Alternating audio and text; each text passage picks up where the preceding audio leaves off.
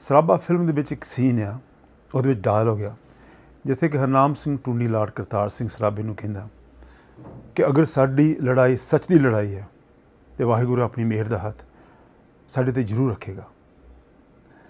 India ਦੇ censor board ਨੇ ਬਹੁਤ ਰੁਕਾਵਟਾਂ ਰੱਖੀਆਂ।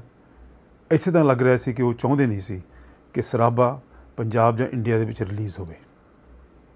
ਸਰਾਭਾ ਟੀਮ ਨੇ ਆਪਣੀ ਸੱਚ ਦੀ ਲੜਾਈ ਚੜ੍ਹਦੀਆਂ ਕਲਾਂ 'ਚ ਲੜੀ।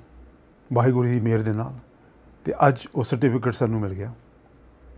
ਹੁਣ ਇਹ ਫਿਲਮ 9 ਨਵੰਬਰ ਯਾਨੀ ਕਿ ਵੀਰਵਾਰ ਨੂੰ ਪੰਜਾਬ ਇੰਡੀਆ ਦੇ ਵਿੱਚ ਸਿਨੇਮਾ ਘਰਾਂ 'ਚ ਆ ਰਹੀ ਹੈ ਰਿਲੀਜ਼ ਹੋ ਰਹੀ ਹੈ। ਉਮੀਦ ਹੈ ਕਿ ਤੁਸੀਂ ਇਸ ਫਿਲਮ ਨੂੰ ਹਮ ਹਮਾ ਕੇ ਦੇਖਣ ਜਾਓਗੇ, ਪਹਿਲੇ ਤੋਂ ਵੀ ਜ਼ਿਆਦਾ। ਇਹ ਨਹੀਂ ਸੋਚਣਾ ਕਿ ਹੋਰ ਵੀ ਫਿਲਮਾਂ ਲੱਗ ਰਹੀਆਂ ਨੇ ਜਾਂ ਹੋਰ ਵੀ ਫਿਲਮਾਂ ਆਉਣ ਵਾਲੀਆਂ ਨੇ। ਪੰਜਾਬ ਦੇ ਵਿੱਚ ਤਾਂ ਇੱਕੋ ਹੀ ਸ਼ੇਰ ਗੱਜਣਾ ਚਾਹੀਦਾ, ਉਹ ਕਰਤਾਰ ਸਿੰਘ ਸਰਾਭਾ। ਇਹ ਵੀ ਨਹੀਂ ਸੋਚਣਾ ਕਿ ਦੀਵਾਲੀ ਆ। ਦੀਵਾਲੀ ਦੀਆਂ ਛੁੱਟੀਆਂ ਨੇ। ਮੈਨੂੰ ਉਮੀਦ ਹੈ ਕਿ ਤੁਸੀਂ ਆਪਣੀ ਫੈਮਿਲੀ ਨਾਲ ਇਸ ਸਿਨੇਮੇ ਕਰਨ ਜਾ ਕੇ ਦੇਖੋਗੇ। ਇਹ ਕਰਤਾਰ ਸਿੰਘ ਸਰਾਭਾ ਤੇ ਗਦਰੀ ਬਾਬਿਆਂ ਲਈ ਬਹੁਤ ਹੀ ਸੋਹਣਾ ਤੋਹਫਾ ਹੋਊਗਾ। ਧੰਨਵਾਦ।